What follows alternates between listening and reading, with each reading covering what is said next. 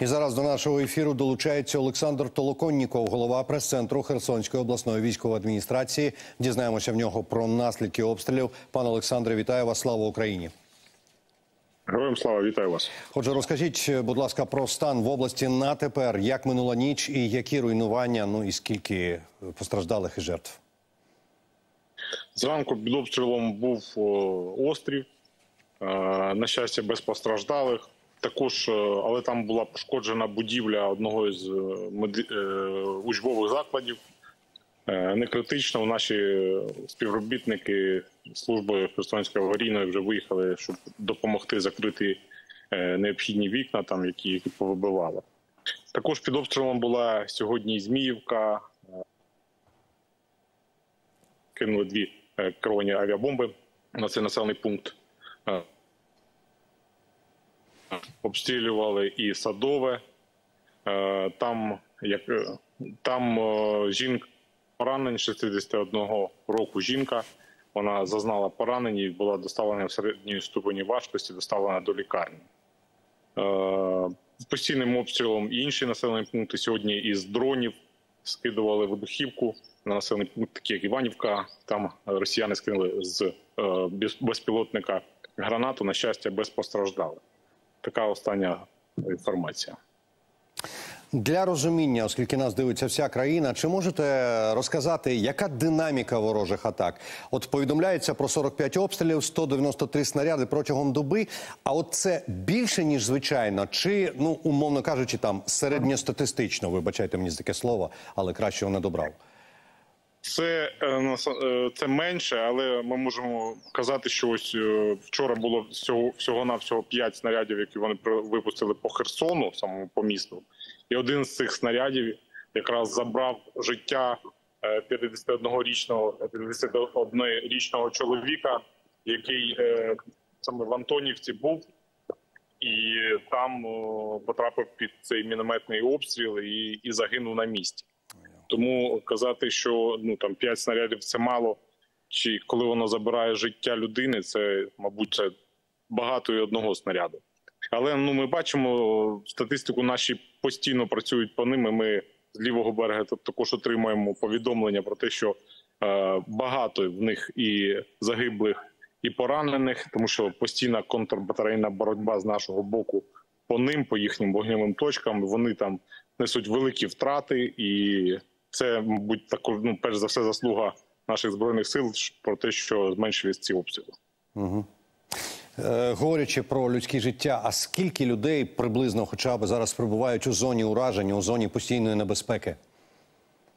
Дивіться, якщо рахувати разом з Херсоном, це приблизно 50 тисяч, то ще е, по лінії е, Дніпра, по червоній зоні, які по якій постійно обстріли ведуться з лівого берега, це ще близько 20 тисяч. Тобто 70 тисяч е, знаходяться у зоні якраз е, ну, ураження в небезпечній зоні. Ну щоб для прикладу, 261 людина була загинула з 11.11.2002 з моменту звільнення Херсонщини, великого великої деокупації, і 916 було поранено. Із 916 чи 44 – це дитини, які поранені були внаслідок російської агресії, і 6 дітей, на жаль, загинуло. І тому ми переконуємо, просимо людей, якщо можна, якщо в них є можливість, особливо з дітьми, треба виїжджати. Ми надаємо безкоштовну евакуацію, розселення. Якщо у вас є можливість, і перш за все, ви розумієте цю небезпеку, її треба розуміти, треба виїжджати, і хоча б на цей період. За, за вашими спостереженнями чи можливо досвідом, чи люди дослухаються до таких порад? Ну, близько дивіться. На, наразі ми маємо 21 тисячу людей, які виїхали, скористувалися і саме безкоштовною евакуацією. Ще й люди виїжджають і самі по собі. З цих е, близько 500, 500 людей з цих 21 тисячі 500 людей це маломобільні, яким допомагали наші і наші соцпрацівники, і волонтери. Дуже їм велика вдяка. І 2,5 тисячі це діти.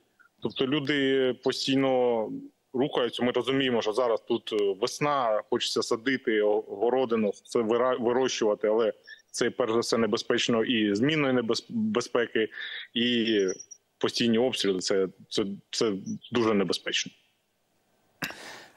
Збройні сили України на Херсонщині знищили третину роти окупантів. Про це повідомила прес-служба оперативного командування Південь. Що відомо про настрої загарбників? Дивіться, ну там е, така ситуація. Ми чуємо повідомлення. Деяких населених пунктів вони виганяють людей з осель і е, ну, заставляють евакуюватися. В деяких населених пунктах е, там той ж самий е, Скадовської Скадовського району там зовсім немає військових російських деяких, і там колаборанти. е, Ну гуляють ці гуляйтери е, п'ють шашлики і, і нічим не займаються. І але ми розуміємо, що все це не просто так. І е, в населених пунктах біля Аскані Нової там е, е, вони пробують проводити ці фейкові свої вибори чергові. Е, Людей звозять з якихось сіл, е, які отримали паспорта, і потім ще видають їм е, 500 рублів е, за це за те, що вони проголосували. Тобто, ну там таке, як кажуть, знаєте, ро- розборот і, і шатання. Угу. Хто в ліс, хто по, по дрова. Але в тому самому Геніческу всі поліцейські колаборанти майже вивезли свої сім'ї чи в Крим, чи в Росію, а самі сидять на валізах, яким, ну, яким їм сказали збирати, і якщо що, мабуть, тікати. А ще буквально одне питання маю за вашими ж е, прес-служби, тобто повідомленнями. Окрім житлових кварталів населених пунктів, ворог поцілив в елеватор в Золотій Балці і у склад сільгосптехніки в Зміївці. А хочу запитати, на ваш погляд, ну, по-перше, це е, чи, чи вперше такі об'єкти під вогнем? Напевно, ні. І чи пов'язано, на вашу думку, це з намаганнями завадити за завершенню посівної? А Херсонщина одна з провідних аграрних областей України. Ну вони е, завадили перш за все цією замінованістю цих е, полів, бо люди постійно нещодавно, один день тому, на щастя, людина не постраждала, але Вався трактор, там майже 200 тисяч доларів, е, який коштує. І е, ми були, також з головою військової адміністрації е, на в сільхоз ну, в де знищена майже вся техніка, елеватори і там склади. Вони там якось пробують його відновлювати. Але е, я не думаю, що це ситуація про те, щоб в- вони думають, що там ховаються саме е, наші збройні сили, наші е, мужні воїни і ховаються за спинами селян.